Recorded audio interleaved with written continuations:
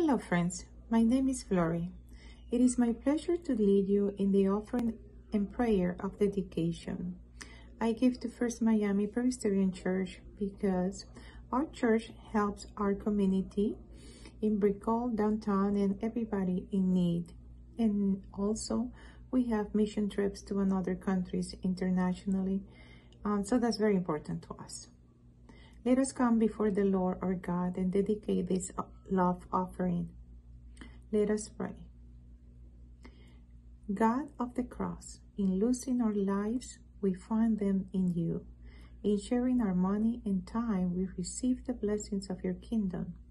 Use this gift toward your holy work of peace, justice, and service in the world. Amen. If you would like to support First Miami Ministries, please go to the church website at www.firstmiami.org. Thank you so much.